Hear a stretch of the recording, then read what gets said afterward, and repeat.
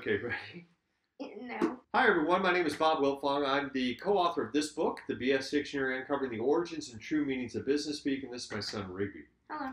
We are giving you the BS term of the day in 60 seconds or less. And Rigby, I'd like your best guess at what the BS Hmm. term synergy means. Somebody says we Uh. have synergy. Uh, this is another video game term.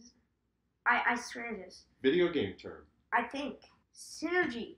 I know it's like you're bonded together in some way, like you're good, you're bonded. Yeah. But like I don't good. know how. I don't I think anybody don't- knows how synergy. Synergy. You're just like bonded together by something.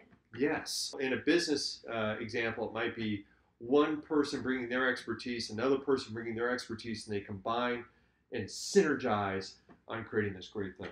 Mm. Synergy. is just the exact same thing. It's true. They're making it more complicated.